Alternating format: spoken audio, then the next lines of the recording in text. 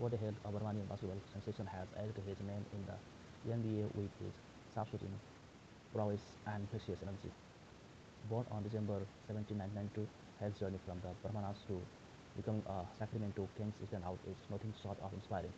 Known, from his, known for his lightning-quick release and three-point accuracy, he has defined the role of a shooting guard. Hield's college career at the University of Oklahoma, where he won the next Naismith College Player of the Year in 2016, the stage for his NBA success. Beyond the court, Hield's philanthropic endeavors in the Bahamas showcase his commitment to community development.